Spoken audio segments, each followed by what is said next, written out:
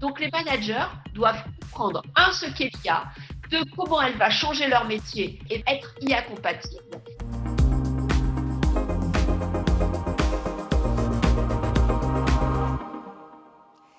L'intelligence artificielle, oulala, ce n'est pas pour moi, c'est trop compliqué, c'est trop inhumain, et puis de toute façon, euh, j'y comprends rien. Et si l'intelligence artificielle était en fait notre meilleur allié Tout bon manager doit en connaître les fondamentaux, s'y ouvrir et y ouvrir ses équipes. C'est ce que nous dit Cécile Dejoux qui était avec nous en direct. Bonjour Cécile et bienvenue sur Way. Bonjour, merci pour votre invitation. Euh, vous êtes professeur des universités au Conservatoire euh, national des arts et métiers où vous avez fondé et vous dirigez la chaire Learning Lab. On va voir ce que c'est dans un instant. Vous expliquez dans votre euh, dernier ouvrage qui s'appelle L'IA et moi que l'intelligence artificielle, eh bien, transforme nos métiers, transforme nos façons de travailler et que plutôt que d'en avoir peur, il faut mieux s'y éduquer. Et l'éducation, justement, c'est la spécialité de Svenia Busson. Bonjour Svenia. Bonjour Charlotte. Tu vas bien? Très bien et toi? Oui. Tu parcours pour nous toutes les pédagogies, les formations euh, innovantes. Et aujourd'hui, c'est plutôt aux managers qu'on va s'adresser. Absolument, et je suis ravie de vous avoir sur le plateau, Cécile, étant donné que vous êtes professeur et que c'est très important dans cette émission Way of Learning d'aussi donner la parole aux professeurs qui sont sur le terrain, qui enseignent les compétences de demain, même si dans le digital, demain, c'est aujourd'hui finalement. Euh, du coup, vous êtes professeur au Conservatoire national des arts et métiers, qui est un établissement public de formation euh, professionnelle tout au long de la vie, euh, qui propose 300 parcours de formation dans 30 secteurs d'activité différents assez énorme, euh, via des cours du soir, notamment des cours euh, à distance. Euh, et vous avez développer au CNAM une étroite collaboration avec les entreprises pour développer des, cours qui soient euh, euh, connectés aux besoins euh, du marché et aux besoins des collaborateurs. Et ça, c'est assez incroyable. Charlotte, est-ce que tu savais qu'avec l'école polytechnique, le CNAM est une des trois créations qui, de, de, la Révolution française pour former aux sciences et aux techniques? Alors, je, je, ne connaissais pas ce point d'histoire, mais je savais en tout cas que le CNAM, c'est un établissement unique en son genre et assez remarquable dans ce que ça offre comme formation permanente et très polyvalente. Absolument. Et d'ailleurs, Cécile, je suis assez curieuse et intriguée. Est-ce qu'on enseigne de la même façon à des euh, jeunes de 20 ans qu'à des professionnels de 40 ans? Quelle bonne question, Delia. Alors, c'est vrai que quand on a 40 ans, qu'on est en repositionnement ou qu'on souhaite euh, développer de nouvelles compétences, on a besoin d'une pédagogie active qui s'appuie sur l'expérience et qui valorise en fait ce qu'on a su faire. L'objectif en fait des formations au CNAM, il est triple. Déjà, c'est l'excellence académique. Il y a des enseignants-chercheurs qui sont là pour transférer les dernières connaissances dans tous les domaines. Donc, euh, on a des cours, comme vous le disiez très bien, à la fois sur des sciences de l'ingénieur que sur de la philosophie ou du management, en passant par la mécanique, l'ergonomie, l'informatique.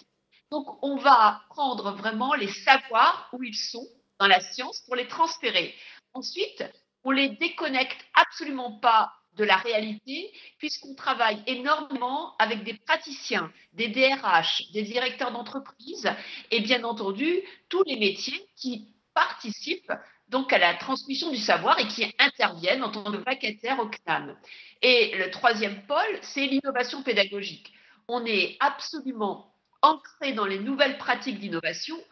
On a créé des MOOC, on est quand même au CNAM le premier créateur de MOOC en France, et on crée avec les formations à distance eh bien, plein de relations avec des écosystèmes de start-up, que ce soit des chatbots, que ce soit euh, des nouvelles façons de faire des lives, que ce soit des forums interactifs, que ce soit du rich média. On travaille avec l'écosystème de l'innovation pédagogique pour pouvoir transférer la connaissance scientifique et la connaissance professionnelle capitalisée sur le savoir-faire des auditeurs. En effet. Et d'ailleurs, c'est unique en son genre dans le monde. J'ai, beau avoir voyagé dans, plein de pays, j'ai jamais vu ça. Donc, euh, et vous avez plein d'antennes d'ailleurs régionales. C'est pas que parisien, le CNAP. Vous avez des antennes, euh, une vingtaine, si je ne me trompe, un peu partout en France. Ce qui rend, euh, ce qui rend en fait, euh, voilà, cet, euh, cet enseignement accessible à tous sur le territoire. Cécile, vous avez écrit ce livre dans, dans l'optique d'informer, de former des professionnels à, au sujet de l'IA et ses implications sur le futur du travail. Est-ce que le public de managers est, est réfractaire à l'apprentissage de cette spécialité? Alors, pas du tout. En fait, euh, l'objectif de cet ouvrage, c'est d'abord d'expliquer à tout le monde, c'est-à-dire aux dirigeants, aux DRH, aux DSI, à tous les informaticiens, data scientists, etc., qu'en fait, ils ne peuvent pas avoir une stratégie IA s'ils n'embarquent pas les managers et les collaborateurs qui ne créent pas d'IA. Donc, la première conviction, c'est qu'en fait, l'IA, c'est une technologie qui vient à la suite du numérique, qui est transversal, qui a besoin, bien entendu, de se focaliser sur la création de nouveaux usages grâce aux spécialistes d'IA, mais surtout qui va transformer tous les métiers. Et donc, tous les collaborateurs et, bien entendu, les managers sont impactés par l'arrivée de l'IA. Donc, il faut absolument qu'ils se saisissent du sujet. Ça, c'est la première conviction.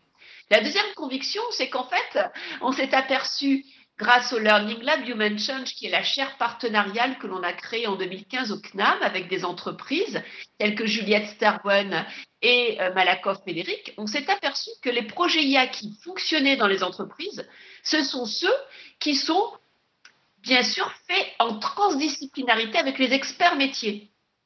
C'est-à-dire que les scientifiques, les data scientists doivent travailler avec les experts métiers qui en amont et en aval vont leur vont leur donner l'expression des besoins et vont les aider à monter en scalabilité. Donc, il faut absolument que les experts métiers soient embarqués dans les projets IA. Et la dernière conviction, qui est quand même très importante, c'est que de toute façon, les managers être des courroies de transmission avec leurs équipes et c'est eux qui vont sentir si les équipes sont réfractaires à l'IA ou pas. C'est eux qui vont former les équipes aux nouvelles compétences liées à l'IA. Donc, ils sont clés hein, dans cette transformation. Et c'est très important de les monter en compétences pour qu'ils deviennent IA compatibles et qu'ils forment les collaborateurs, mais surtout, il faut comprendre que plus on va utiliser d'IA, plus il faudra développer de nouvelles compétences que j'appelle des compétences de centrage. Donc, ce sont les trois convictions de cet ouvrage. Euh, vous parlez de, de manager IA compatible. Qu'est-ce que ça veut dire concrètement? Qu'est-ce que ça va changer dans la façon de fonctionner et dans les compétences à acquérir plus précisément? Alors c'est une excellente question. Ce qu'il faut bien comprendre, c'est premièrement qu'est-ce que l'IA En quelques mots, l'IA, c'est en fait une nouvelle science à l'intersection des mathématiques, de l'informatique, des sciences cognitives, qui a plein d'usages différents, et au moins quatre qui sont essentiels. Un, la reconnaissance. On reconnaît des objets, on reconnaît des voix, on reconnaît du texte. Donc, c'est ce qu'on appelle la vision, computer vision. Deuxièmement, on a tout ce qui est sur euh, la voix. On va pouvoir comprendre des mots, traduire, etc. Troisièmement, il y a tout ce qui est autour de l'automatisation, avec des robots qui soient humanoïdes ou qui soient donc des processus. Et puis, il y a la création de connaissances. Donc, vision, voix, connaissance, robotisation. C'est ça l'IA. Et donc, il y a plein d'usages différents. Deuxièmement, les managers vont voir que dans leurs tâches, il y a des choses qui vont en fait être données à l'IA. Tout ce qui est classement, tri. Donc ça, ils n'auront plus à le faire.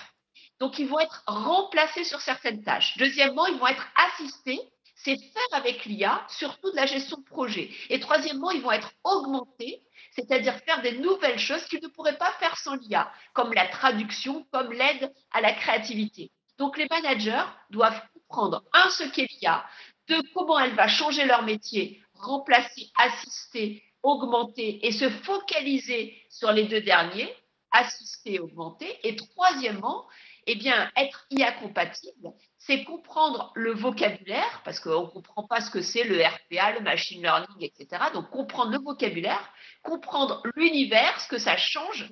On va penser en probabilité et non plus en rationalité, et comprendre les usages et les briques. C'est ça, être IA compatible. Comment on forme concrètement les managers à tout ça? Merci pour cette question. Alors, il y a plusieurs niveaux de formation. Premier niveau de formation, c'est l'acculturation c'est en parler, montrer ce que l'IA change dans le management et dans les métiers. Pour ça, nous avons ouvert une chaîne YouTube qui s'appelle Transformation managériale, où vous avez des interviews tous les jeudis à midi et demi. Par exemple, nous avons la directrice de l'hôpital Picha qui explique comment la data permet de prendre des décisions à l'hôpital et comment l'hôpital devient une entreprise data-driven. Passionnant. Donc, l'acculturation. Cette acculturation, on l'a fait à travers un MOOC qui s'appelle l'IA pour tous sur la plateforme Fun. Il est gratuit. C'est un MOOC qui est un tour du monde de l'IA. Il y a plus de 50 000 personnes qui l'ont suivi. Vous pouvez vous y inscrire. La deuxième brique, je termine juste, oui. c'est en fait euh, la formation. Donc, bien entendu, les entreprises hein, telles que Salesforce font de magnifiques modules. Mais par exemple, au CNAM, nous créons cette année un certificat de devenir acteur des transformations à l'ère de l'incertitude avec l'IA. Donc, c'est aussi de la formation pour que les personnes puissent montrer qu'ils ont eu un certificat, qui est d'ailleurs financé par le CPF, sur leur profil LinkedIn ou dans leur parcours. Et troisièmement, c'est acculturer les comités de direction et les DRH avec des conférences d'inspiration et bien entendu des interventions. Ça nécessite donc quand même euh, pour les entreprises d'investir massivement dans la formation. Hein. D'ailleurs, on en, parle euh, durant toutes ces émissions. C'est une nécessité qui se fait de plus en plus urgente aujourd'hui. Et pour ce faire, est-ce qu'il n'y a pas d'abord un sujet sur la motivation intrinsèque à se former? C'est une question que je me pose souvent. Euh, et, dans, ce, dans cette optique-là, j'ai un exemple assez marquant à, donner de, Saint-Gobain. Saint-Gobain, une entreprise qui a en fait des, des, des formations qui s'appelle Unicampus, qui se, qui se déroule sur une semaine et, ces formations sont de vraies fêtes. C'est-à-dire qu'on fête le fait d'apprendre. Tous les, collaborateurs se retrouvent pour une semaine et donc ils ont plein d'activités, mmh. des formations sur tout genre, des hackathons, des, euh, enfin c'est très très varié euh, et, euh, et des, évidemment des activités le soir, etc. Donc c'est un mélange entre le team building et la formation en présentiel. Alors là en ce moment ils le testent en distanciel et ça marche aussi bien. Donc en fait ça motive les gens, ça leur donne une motivation supplémentaire et surtout ça rend la formation attractive, mm. quoi, attrayante pour, pour les collaborateurs. Et ça, je trouve que c'est assez extraordinaire parce qu'il faut redonner euh, à la formation ses lettres de noblesse, n'est-ce pas, Cécile? Alors là, vous avez vraiment 100% raison. Un des gros pièges actuellement, c'est en fait de proposer aux salariés des formations en ligne sans leur donner le temps de faire la formation. Et ce que vous citez avec Saint-Gobain, c'est un exemple extraordinaire pour deux raisons. La première, c'est qu'en fait, même si la formation est en ligne, il faut que l'entreprise donne du temps bloqué dans l'agenda du collaborateur parce que ce n'est pas possible de travailler et de se former en même temps. Et deuxièmement, Saint-Gobain a fait quelque chose d'extraordinaire en IA. Vous pouvez le voir dans le livre blanc de Juliette Sterwan sur les RH augmentés, dans son webinaire en replay. Il a créé en fait une gestion des talents pilotée par de l'IA. Et grâce à cette IA, il est capable de savoir quels sont les nouveaux talents et savoir quand les talents qui existent vont partir de l'entreprise. Et c'est passionnant parce que grâce à cette IA, en fait, il a vraiment fait une gestion des compétences automatisée et ça permet maintenant eh bien, de former des collaborateurs pour qu'ils puissent évoluer plus vite dans l'entreprise et c'est fait avec de l'IA chez Saint-Gobain. Donc c'est un magnifique exemple que vous citez là. Se former pour, euh, pour travailler, euh, se former à l'IA pour travailler mieux, travailler différemment, c'est une chose, mais euh, quid de l'apprentissage assisté par l'IA C'est-à-dire qu'aujourd'hui, on assiste quand même à, à, une vague de nouvelles technologies dites d'adaptive learning qui en fait personnalisent les parcours d'apprentissage pour que chaque élève, chaque apprenant puisse avoir son propre rythme, son propre parcours, plutôt que de faire un one size fits all, donc un contenu qui va à tout le monde. Donc c'est vrai qu'aujourd'hui, l'IA peut aussi nous aider à apprendre mieux, apprendre différemment. Est-ce que vous avez des exemples, vu des exemples dans le monde entier, euh, Cécile, ah pendant vos recherches? Eh bien, Zélia, voyez-vous, eh bien, nous avons fait un tour du monde, hein, États-Unis, Chine, Singapour, Canada. On a cherché des entreprises adaptive learning, on n'en a trouvé aucune. Pour moi, c'est une fake news. Il n'y a absolument aujourd'hui aucune entreprise dans le monde qui fait de l'adaptive learning, c'est-à-dire qui est capable de dire ce que vous devez apprendre par rapport à votre entretien d'évaluation, par rapport à vos compétences et à vos motivations. Ce qu'elles font, c'est en fait simplement euh, ce qu'on appelle de l'ancienne IA, c'est-à-dire euh, elles notent des arbres de correspondance et des arborescences pour dire eh bien un tel par rapport à ce qu'il sait, voilà ce qu'il devrait faire, mais c'est pas par rapport à vous, c'est par rapport à des données passées Et donc, ça n'est absolument pas adaptatif. Donc, si vous trouvez un exemple, je suis preneuse. Cécile, j'en ai, j'en ai deux. J'en ai deux. Une, une, une, entreprise de Finlande qui s'appelle Cland, euh, qui est une entreprise qui, qui, qui, qui s'approche de ce que vous décrivez, hein, c'est-à-dire que vraiment en temps réel peut s'adapter et peut adapter les, les, contenus. Et une deuxième entreprise qui s'appelle Area 9, 9 comme le 9 en anglais, euh, une entreprise danoise. Les Nordiques sont très forts hein, sur tout ce qui est éducation, euh, que, que, je vous encourage à aller voir.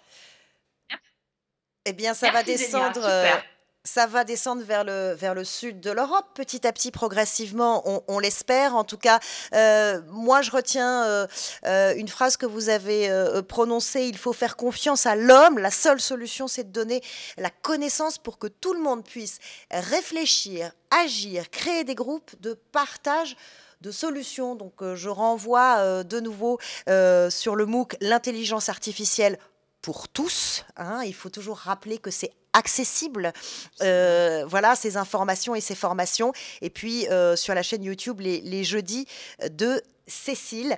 Merci beaucoup euh, Cécile Dejoux d'être venue euh, nous parler de façon joyeuse et participative d'un IA accessible et indispensable finalement, où ce que je retiens, c'est qu'il faut embarquer ces équipes et que ça passe euh, par la formation et aussi par la motivation, comme tu l'as si bien dit, euh, Svenia. Merci Svenia. Merci Charlotte. Merci Cécile Dejoux. Oui, ça continue maintenant et tout le temps, c'est quand vous voulez. Abonnez-vous à Way sur la chaîne YouTube de Salesforce. Vous pouvez y retrouver évidemment nos invités, nos chroniqueurs et activer la petite cloche pour nous dire ce que vous en pensez. Nous lisons vos messages, nous les prenons en compte. Rejoignez-nous sur Way.